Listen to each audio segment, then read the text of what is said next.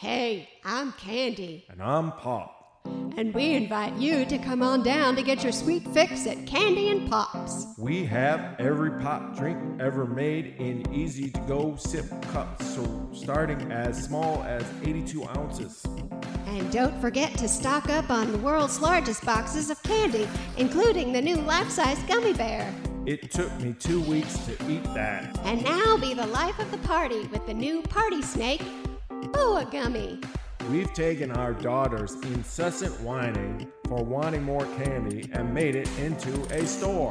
Thanks, Dad. You betcha. So stuff massive amounts of sugar into our mouths and stick it to those health nut crazy Obamas and New York mayor types. In Fenchel, this is how we roll. Let me ask you folks, what would you rather be? Addicted to meth or sugar? Oh, Dad. I'm not kidding. So, no matter how old you are, be a kid again and treat yourself.